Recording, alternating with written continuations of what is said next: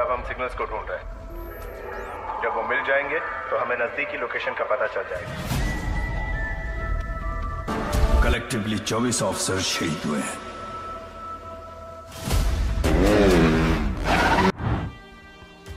इस वक्त पूरा इंडिया नो सॉरी पूरा भारत शाहरुख खान की जवान मूवी को एक फेस्टिवल की तरह सेलिब्रेट कर रहा है। शाहरुख का स्क्रीन प्रेजेंस एटली का डायरेक्शन और अनिरुद्ध का म्यूज़िक इन सभी ने मिलकर इस मास एक्शन मूवी को सुपर डुपर हिट कराया है। सिर्फ़ फैंस को ही नहीं, बल्कि क्रिटिक्स और एंटी फैंस भी शाहरुख के फ़ैन बन गए हैं। अब तो शाहरुख को नए हेटर्स की ज़रूरत है, क्योंकि उनके पुराने हेटर्स तो अब उनके फ़ैन हो गए हैं। वैसे देखा जाए तो जवान मूवी की स्टोरी बिल्कुल नई नहीं है, लेकिन उसे प्रेजेंट एक नए तरीके से किया गया है। पिछले तीन दिनों से क्रिटिक्स अपना एनालिसिस सामने रख रहे हैं और आज उन्होंने ये सामने लाया है कि जवान का एक कैरेक्टर बैटमैन के कैरेक्टर से इंस्पायर्ड है।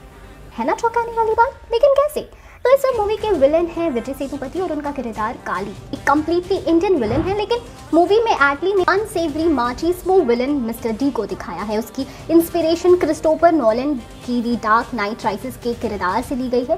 काली भले ही जवान का मेन और ओरिजिनल विलन हो, लेकिन मिस्टर डी का किरदार जो एक रशियन माफिया फैमिली से बिलोंग करता है और काली के फंड्स को स्पॉन्सर करता है और उसका पॉलिटिकल करियर भी डिसाइड करता है। तो वो दी डार्क नाइट राइजेस से इंस्पायर्ड है। अब कौन से किरदार से इंस्पायर्ड है? तो अगर आपने जवान नहीं भी देखी है तो कोई बात नहीं ट्रेलर तो देखा ही होगा। और उसमें एक अजीब तरह का मास्क पहनने और चीता को अपना पेट बनाकर एक फॉरनर था, जिसके साथ काली डील करने की बात करता है।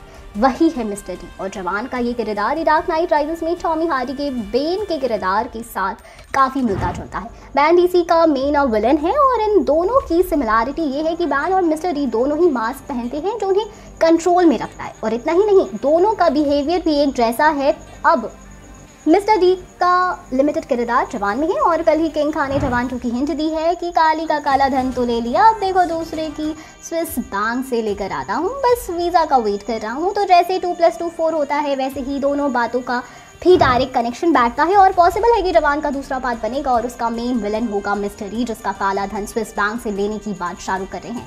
अगर जवान टू बनती है तो अभी तो बाढ़ आई है, लेकिन जवान टू के आने पर सुनामी ही आ जाएगी। खैर, अब आप बताइए आपके भी एक्साइटेड जवान टू को